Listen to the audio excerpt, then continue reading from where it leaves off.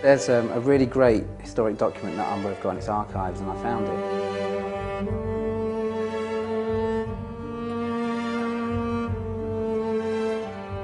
What we've done is actually use it to inspire how we've created the, um, the design of the name and number font on the back of the shirt. Dear sirs, as you're aware, we use Umbro sportswear, jerseys, knickers, hose, slips and anklets, effectively shirt, short socks, exclusively in the FA Cup final at Wembley on Saturday last, which was the 28th of April 1934. That's when Manchester City played Portsmouth and they won 2-1.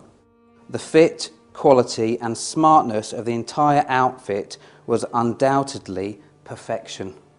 And the team, to a man, were impressed and delighted with it. Yours faithfully, W. Wild, Secretary Manager.